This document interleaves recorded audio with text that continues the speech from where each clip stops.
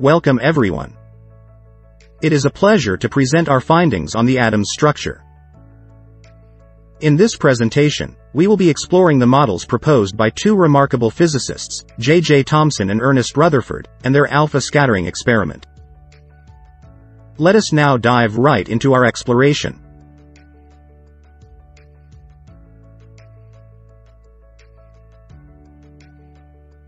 Atoms consist of three distinct types of subatomic particles.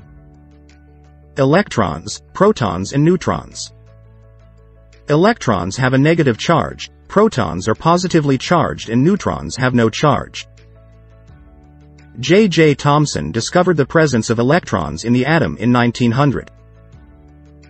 A year later, Ernst Goldstein identified new radiations in gas discharge that were positively charged, resulting in the discovery of protons. Finally, in 1932, James Chadwick identified the presence of neutrons. Their joint discoveries assist in comprehending the structure of an atom. J. J. Thomson proposed the plum pudding model of an atom in 1897. This model suggested that atoms were composed of a sphere of positive charge with electrons randomly embedded in it, which explained why an atom as a whole is electrically neutral due to the equal magnitudes of negative and positive charges. This was an exciting idea at the time and it provided the basis for further discoveries about the structure of an atom. Rutherford's model of the atom suggests it has a small, positively charged nucleus at the center, surrounded by a cloud of negative electrons. To verify this, Rutherford ran an alpha scattering experiment. He shot a beam of fast, positively charged alpha particles at a thin gold foil. Though many particles passed through, some were slightly deflected and a few even bounced off. This proved there was a small, dense nucleus with a positive charge within the atom, revealing there are distinct, subatomic particles in the atom. Conclusions from Ernest Rutherford's alpha scattering experiment revealed that atoms contain much empty space, a small, positively charged nucleus and little evidence of electrons in motion. This led to Rutherford's model of atoms being composed of a positive nucleus surrounded by electrons in orbits around it, the nucleus being minuscule compared to the size of the atom. These findings gave us a better insight into the structure of an atom and have drastically impacted our understanding of matter. Rutherford's model of an atom depicts a very small and positively charged nucleus surrounded by negatively charged electrons in circular orbits. Although the model is widely accepted, it has some major flaws. One of the biggest challenges is that according to classical physics, any particle in a circular orbit will experience acceleration. This will cause the particle to emit energy and the electrons will eventually lose enough energy to collide with the nucleus, leading to an unstable atom. However, it is clear that atoms are not unstable, which cannot be explained by Rutherford's model. In Niels Bohr's atomic model, it is stated that an atom has a positively charged nucleus at its center, and most of its mass is in the nucleus.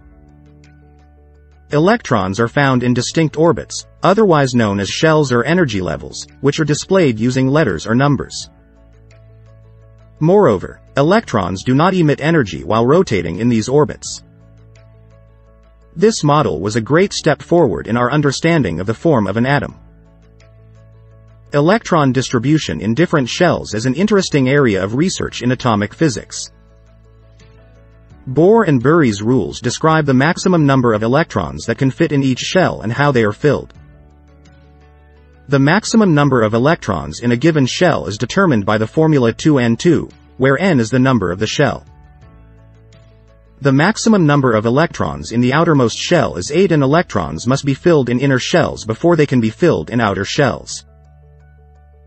The table in this slide presents the atomic structure of the first 18 elements, comprising the name, symbol, atomic number, number of protons, neutrons and electrons, as well as the distribution of electrons in the shells K, L, M, N and the valency of the element. This information provides us with a better understanding of the structure of the atom and its behavior in various applications scientists were able to construct models of the atomic structures of the first 18 elements as science progressed. These models precisely depicted the magnitude and distribution of protons, neutrons, and electrons. Each atom had a nucleus with a determined number of protons, and electrons were placed in energy shells, or orbitals, surrounding the nucleus. This structure was referred to as the Bohr model, which is the basis of our understanding of atomic structure presently. Atoms become stable when they form bonds with other atoms. This process is called valency and is determined by the number of electrons in an atom's outermost shell. Elements such as helium, which have two electrons in its outermost shell, are considered inert, while atoms of other elements with eight electrons in their outermost shell form an octet configuration. This octet configuration makes them stable. On the other hand, if an atom's outermost shell is not completely filled, it seeks stability by either losing, gaining, or sharing electrons with other atoms. The number of electrons lost, gained or shared by an atom to form the octet configuration is the element's valency. For instance, the hydrogen, lithium, and sodium atoms can easily lose one electron and become stable with a valency of 1. Also, magnesium can easily lose two electrons and have a valency of 2. Atomic number and mass number are essential to comprehending the design of an atom. The atomic number is the number of protons in the nucleus of the atom. It remains constant for each element and cannot be altered. The mass number is the amount of protons and neutrons in the nucleus of the atom.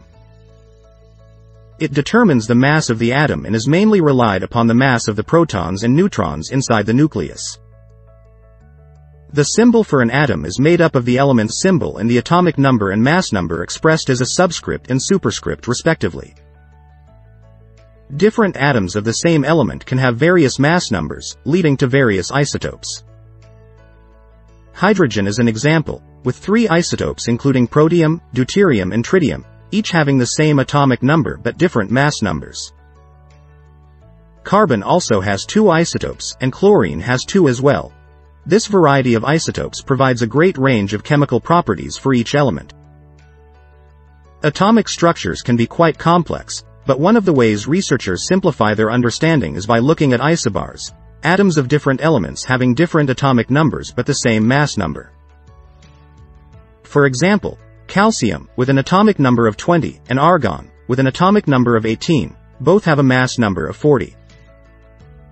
Similarly, iron with an atomic number of 26 and nickel with an atomic number of 27 both have an atomic mass of 58. The ability to recognize and study these groups of elements has allowed researchers to better understand the structure of the atom, and to continue innovating in the field of atomic structure. Thank you for listening.